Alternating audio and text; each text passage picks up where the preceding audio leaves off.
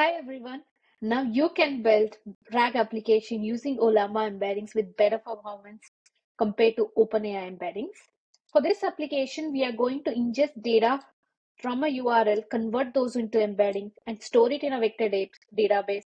So when we ask a question, a relevant data will be sent to Ollama, and finally we get more relevant answers at a faster pace. So for those who are not aware of Ollama, Ollama is a tool that allows you to run open source LLMs like Llama, Mistral locally on your machine. So your data stays with you and resulting in a faster significant response.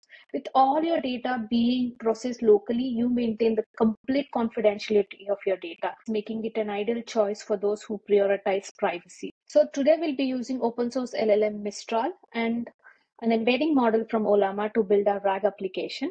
For this application, as I mentioned, as you see the process, we, we take a URL and then send converting them into embeddings and storing them in a vector database. And using Ollama, we use uh, the open source LLM Mistral and also the embedding, and we get a response. So that's how this whole application works. Now let's also understand what kind of models can we access from Ollama. So here are the models, what you can access from Ollama. All are open source. So there's Gemma, Llama 2, Mistral, LLaVA, Code Llama as well, and also few embedding models. So today, as I mentioned, we'll be using Mistral 7B model released by Mistral AI updated version and this apparently outperforms Llama 2, 13 billion on all benchmarks, outperforms Llama 134 billion on many benchmarks, and we will be using an embedding model, Nomic Embed Text. This apparently is has a lot larger context window than OpenAI embedding, so it's perfectly suitable for for people who are who would like to build advanced RAG applications. So that's about Ollama. Let's quickly jump. How can we download Ollama and how can we build applications using Ollama? First, you have to start by downloading Ollama locally on your computer. Over to Ollama and click on download. It's available for Mac, Linux, and also Windows. So once you downloaded Ollama, head over to your terminal and say Ollama run Mistral. If you want to use Llama, you could also say Llama, Ollama run Llama and then click on OK. I've already downloaded, so I won't be doing that. Once you're done with Ollama run Mistral, just say Ollama pull Mistral. This basically pulls the model. So once you're done with this, we'll be installing all the necessary libraries. As I mentioned, we'll be building this application using Streamlit Web UI. So we'll be um, using Streamlit library over here, and we'll be also using LangChain community tools over here. For example, splitting our text into chunks, and we'll be using ChromaDB for storing a vector database. I would just say pip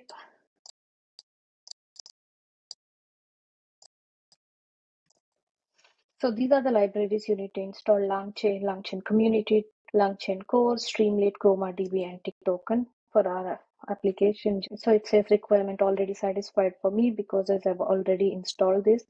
So once you're done uh, with installing all the necessary libraries and pulling your LLM using Ollama, we'll create a new file called app.py. Uh, so start by importing all the necessary functions and modules. As I mentioned, we are importing Streamlit and from LangChain community, we'll be just using web-based loader, ChromaDB and uh, embeddings. You know, from LangChain community LLMs, we'll be using Ollama and characters to split our text into chunks. So these are the modules you need to import. Once we are done with importing all the modules, we'll start writing the code. So we'll start by initializing the model and also uh, write a function for URL processing. So just URL process find process input. So what we are doing here, you're basically creating an instance for Ollama model named model local and specifying the model type you want to use. We are using Mistral over here. And this is a function we set up to process our URL so that users can enter their uh, URLs and ask a question. So we have to continue with the URL processing. We'll be using web-based loader. Web-based loader is nothing but it's used for loading documents from the web. We would want to uh, uh, users to use multiple URLs and we'll separate this with a line. So just say URL list. So what we are basically doing over here is loads document from each of the URL that a user has entered in the list and using web-based loader, we are combining all the documents into a single list and we are using a variable called docs list. And that's what we are doing here. And the next stage basically consists of three steps, basically converting this document text into chunks and then convert those into embeddings and storing them in a vector database and performing the RAG. So the first step here is split the text documents into chunks. So we'll be using text splitter over here and we'll be using the function called character text splitter. This is from Langchain community tools and you can mention the chunk size and also the overlap. And the next part is storing it in a variable. So we'll be creating a variable called doc split text splitter and we'll say split documents using doclist. Yeah. So once we are uh, done with splitting the documents into chunks, we have to convert those into embeddings and store it in a vector database. So we'll say convert into embedding and store it then will be.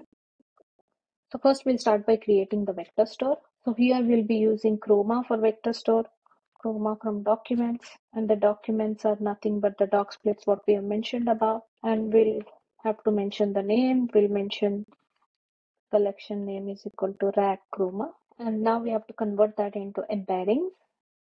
So just say embeddings. We have to do that from Ollama, Ollama embeddings.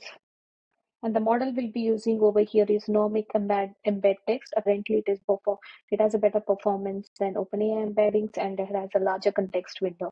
So it's perfect for building advanced RAG applications. Embed text and will you be using a retriever for a vector storage. So what we are basically done over here is create a vector store from Chroma and then, you know, converting those chunks into embeddings using Ollama embeddings and then uh, retrieving those from a vector store.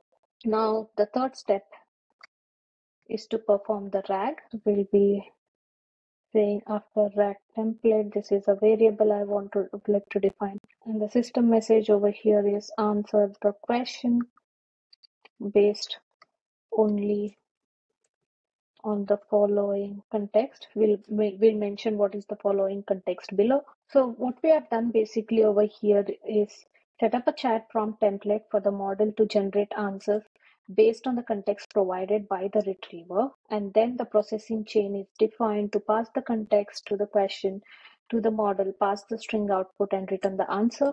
So the chat prompt template we are again using from Langchain community tools. And then the context is nothing but what we are retrieving using a retriever from a vector store. That's it. That's basically three steps. What you have done over here, split the document into chunks, convert checks into embeddings and store them in a vector database and perform the RAG. Once you're done with, we can begin with Streamlit. With just that, you, if you want to see this application on a web interface, we'll be using Streamlit over here, Streamlit UI. So we'll set up the Streamlit UI with title. The title is maybe document query with Ollama and we'll write a bit of description. So you use st.write in Streamlit, enter URLs, maybe mention one per line and a question to query the document and we have to provide the text input so that the users can uh, input their URLs. UI for input fields, URLs.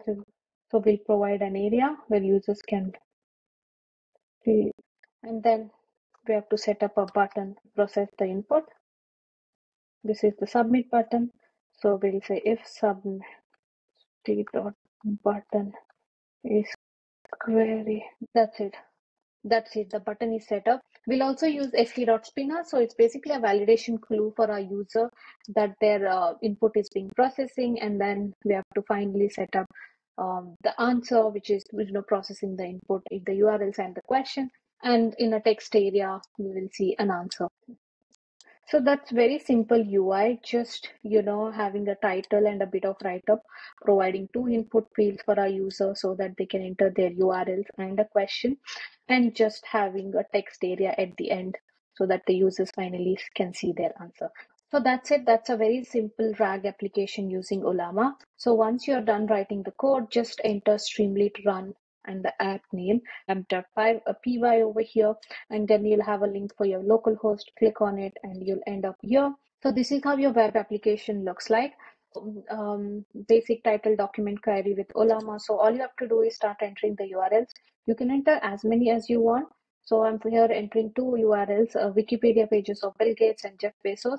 And I'll start asking question, who is Bill Gates, for example? Um, okay, query documents, just processing. So you see a very detailed info on who is Bill Gates, all from the Wikipedia page. What we that's a very simple application using Ollama and open source model Mistral all in your computer so that your data is not being shared with anyone, which is really cool. So if you would like to see more such use cases running LLMs locally on your computer, um, please do let me know in the comment section. I'm excited to sh- share more such tutorials.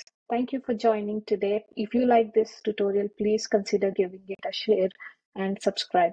See you in the next tutorial.